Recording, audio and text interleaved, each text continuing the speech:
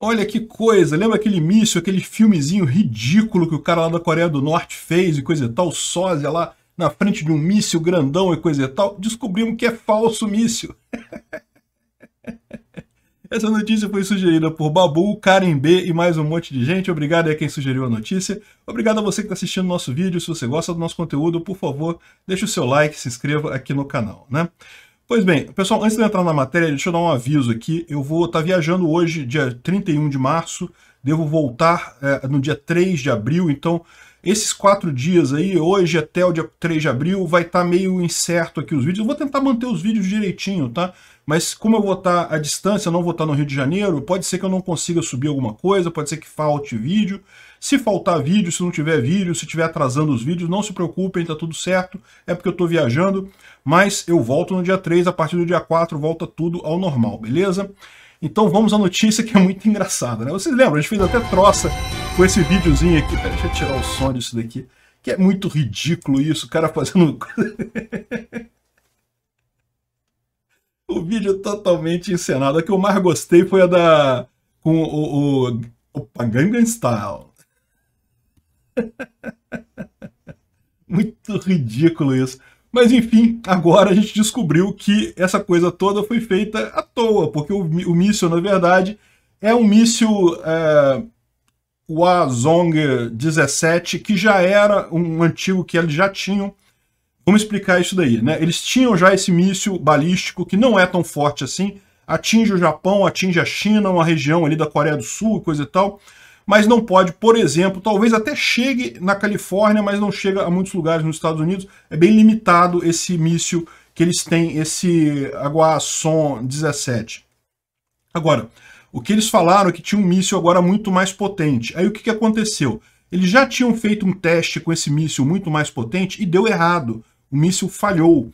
Então, uh, o que, que aconteceu? Agora eles marcaram um novo teste com esse míssil potente, falaram para todo mundo que era um míssil potente, falaram para a população da Coreia do Norte que era um míssil potente. Por quê? Porque a população da Coreia do Norte é mantida escravizada à base de mentira, né? E aí, como falhou o míssil grande, o teste anterior, eles estavam com medo do míssil grande falhar de novo, e aí não ia ter o que falar e coisa e tal. Aí o que eles fizeram? Fizeram um míssil antigo, um teste com um míssil antigo, dizendo que era novo, que o míssil antigo eles sabiam que funcionava, já testaram outras vezes, e uh, disseram, disseram que era novo, ou seja, não teve teste novo, e fizeram essa, esse videozinho fuleiro, umas imagens realmente, umas coisas impressionantes lá de, de, de, política mesmo, né? Cara, será que o pessoal da, da Coreia do Norte não percebe essas coisas, né? Mas aí você vê essa outra notícia aqui, né? Então, ou seja, é, é, a Coreia do Norte está parada, não consegue sair do lugar. E por que, que ela não consegue desenvolver mísseis tão avançados, não consegue uma tecnologia melhor e coisa e tal? Porque ela está isolada. E pior do que isso, você vê que a Coreia do Norte ela quer ficar isolada. Ela, ela, se, ela se determinou a ser um país totalmente isolado do resto do mundo, autossuficiente, coisa e tal. E para isso, o sósia do líder da Coreia do Norte, cara, não, não tem nada a ver esse cara com o Kim Jong-un, cara. Não sei como é que tem gente que acredita ainda que o Kim Jong-un tá vivo. Sinceramente, eu não sei. Mas enfim, é, o cara disse que é, é, vamos reforçar nas escolas a propaganda ideológica, porque a questão é, uma pessoa ideologicamente motivada, ela vai conseguir superar qualquer dificuldade, não sei o que lá, e falou que não, que tem que fazer mais ideologia, mais propaganda e coisa e tal. Nada é impossível quando as pessoas estão motivadas ideologicamente, coisa e tal.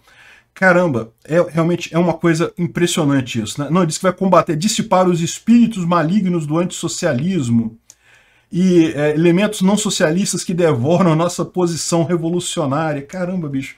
Como é que pode isso, cara? E é o que eu falo, qual o problema desse pessoal? Daí que você vê o problema que esse povo tem com a informação descentralizada e distribuída. Eles só conseguem manter esse, é, é, esse regime absurdo na Coreia do Norte totalmente autoritário, porque eles controlam a população desde criança, ensinam ideologia, vomitam é, ideologia na cabeça das pessoas desde criança. No final das contas, é, deixa o pessoal falar e tomar sua posição, conversar um com o outro para você ver se esse troço não acaba, bicho. É impressionante. Não é a questão só da força militar ou força policial, é a questão da, do controle da opinião pública, da opinião do povo. É por isso que eles fazem essas coisas ridículas de fazer umas fotinhas assim tá, tá, dá para ver que eles estão no desespero mesmo para manter a, a, a, confiança da população lá. Mas, meu amigo, não tem jeito. O pessoal lá, cada vez mais, mesmo lá, a informação descentralizada e distribuída vai se desenvolver. É mais, tá, mais devagar, é evidente que tá, a, a quantidade de recursos é muito menor, mas de pouquinho em pouquinho a coisa vai crescendo e o pessoal vai abrindo os olhos para ver o que, que é a Coreia do Norte. E a outra coisa que eu acho um absurdo nisso daí é essa política de autossuficiência. Né? Ele fala aqui, ó, campanha de propaganda para aumentar o apoio popular à ideologia de autossuficiência do país. Seja, eles querem fazer tudo sozinho. Gente, vantagens comparativas é muito melhor.